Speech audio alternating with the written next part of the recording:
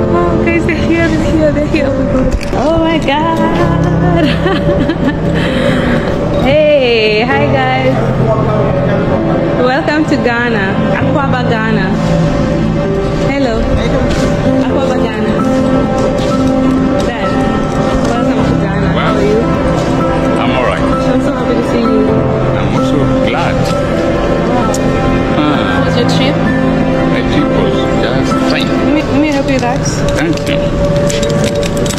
You. Oh, wow. Yes. Akwaaba Ghana. You know what Hot Akwaaba means? Uh-uh. Akwaaba is behind you.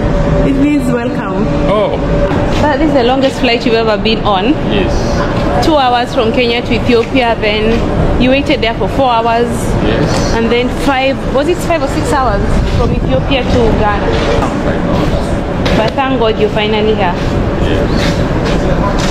Great to be in the country which was the first achieved its independence. Oh, in yeah, Africa. I know, right? Yeah. Look at this. I have looked at it. Is this Ah. person familiar? This person, yeah. Who is that? It's like myself. This is you. All right. This is one of you. Okay, I And thought. uh, that is you and I. We're gonna hang this in our house.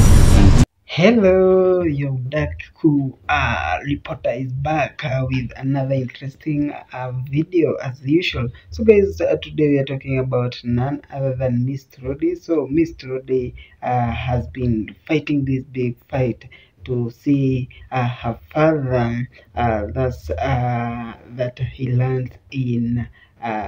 Ghana, and for the longest, she bought the flight ticket for him. But guys, things didn't went well how she wanted. But finally, the time is here.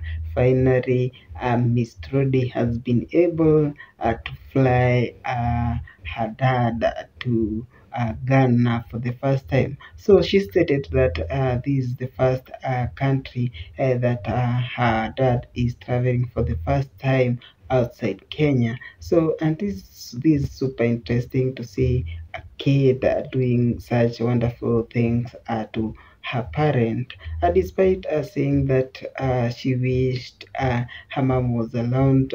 Uh, so that uh, she can treat her. Uh, she also gained this energy, saying that whatever happened, she will just be doing it to the forest for her dad. So, guys, what's your uh, comment on this, or what's your view about the entire journey of uh, uh, Miss Trudy Dad's visiting Ghana for the first time? So, guys, stay tuned, stay around, and remember to subscribe to our channel for more interesting news. Bye bye.